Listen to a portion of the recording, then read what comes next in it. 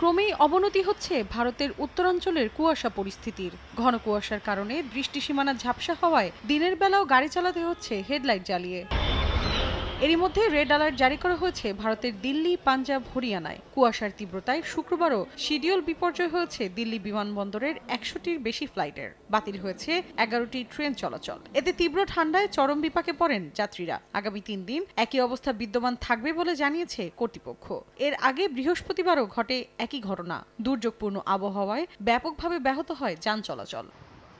এদিকে বৈরী আবহাওয়ার একই পরিস্থিতি রয়েছে চীনের সাংহাইতেও। শুক্রবার স্থানীয় সময় সকালে ভারী কুয়াশার চাদরে ঢাকা পড়ে প্রদেশটির বেশ কিছু উঁচু ভবন। এদিন হলুদ সতর্কতা জারি করার পাশাপাশি সাময়িকভাবে ফেরি চলাচল বন্ধ রাখে সংশ্লিষ্টরা। অন্যদিকে দু হাজার সতেরো সালের পর প্রথমবারের মতো দেশটির হেবি প্রদেশ থেকে দক্ষিণাঞ্চলীয় সাংহাইতে জারি করা হয় রেড অ্যালার্ট। শনিবার স্থানীয় সময় সন্ধ্যা নাগাদ পরিস্থিতির উন্নতি হতে পারে বলে আশা প্রকাশ করছে স্থানীয় আবহাওয়া অধিদপ্তর।